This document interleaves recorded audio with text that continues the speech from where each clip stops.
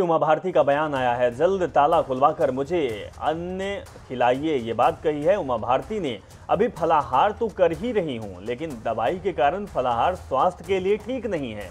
केंद्रीय पुरातत्व विभाग से बात कर खुलवाएँ ताला, ये बात कही है। पूर्व सीएम उमा भारती ने 11 अप्रैल को ताला नहीं खुलने से उमा भारती ने अन्न का त्याग किया था, फलाहार कर रही हैं अन्न व्रत रखी हुई हैं, लेकिन ताला खुलवाने की बात भी उमा भारती ने कही थी। इसके पहले हम आपको सुना ही चुके थे कि मंत्री ने क्या कुछ कहा था कि पुरातत्व विभाग पर हमने बातचीत कर ली है। अब उमा भारती का ये बयान आया हुआ है। रायसेन में जो शिवलिंग है, वो उसका ताला खोलने की बात उमा भारती कह रही है कह रही हैं कि जल्द ही ताला खुलवाया जाए, मैं फलाहार कर रही हूँ, दवाइयाँ भी ले रहा हूँ, जिसके वजह से मेरे स्वास्थ्य में खराबी हो सकती है, दिक्कत आ सकती है।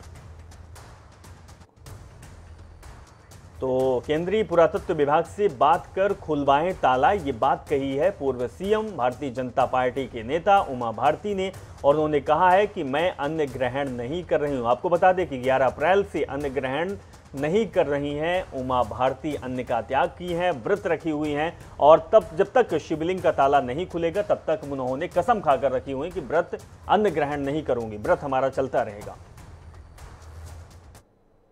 अब मुझे लगता है कि वो स्थिति बन जाएगी तो चूँकि रामपाल जी यहाँ से विधायक है रमाकांत जी सांसद हैं प्रोग्राम की मंत्री हैं मैंने उनको कहा कि आप केंद्रीय पुरातत्व विभाग से बात करें और उनको एश्योरेंस दें और जो केंद्रीय पुरातत्व विभाग के नियम है कि हम उनका पालन करेंगे। और इसके बाद में मैंने रामपाल जी को कहा है कि मुझे अन्न खिलाइए क्योंकि मैं फलाहार तो थोड़ा कर रही हूँ दवाई के कारण लेकिन वो फलाहार मेरे स्वास्थ्य के लिए ठीक नहीं है।